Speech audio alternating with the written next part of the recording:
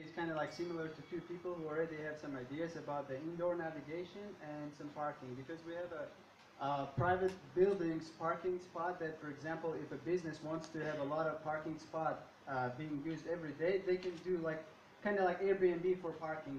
So they can either uh, rent it for hourly, or for example, if somebody has a parking spot already in their building and they're at work from nine to five, they can rent this place to pay up for the whole yearly uh, rent of the parking spot. And plus indoor navigation with the sensor, proximity sensors that can detect how far is the car, like navigating through that building. And everything will be secure because it's all like private parking. So the security will be unable to uh, detect if the person is supposed to be here or not. So it's kind of like indoor navigation with uh, private parking. And we have already teams, so everything's already set up. The name. All right, thank you very much. Yeah, it's it's, in, it's interesting what happens.